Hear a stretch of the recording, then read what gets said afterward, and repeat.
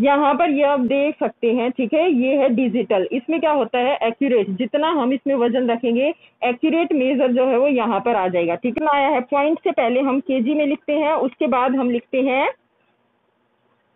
ग्राम में ठीक है नाइन हंड्रेड ट्वेंटी टू यानी कि ये वन के जी से कम है लेस देन वन के जी